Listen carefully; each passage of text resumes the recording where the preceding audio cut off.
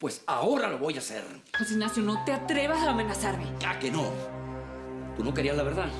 Pues yo te la voy a dar por anticipado. Yo voy a buscar otra mujer. Yo voy a buscar otro momento en mi vida que no sea esta sensación de rabia. No, no, tú no te vas, tú no me dejas. Tú sabes cómo es la cosa que yo me voy y me voy porque me da la gana. Y en este momento lo último que yo pueda desear es verte a ti. ¿Lo entendiste? José Ignacio, regresa, José Ignacio. José Ignacio.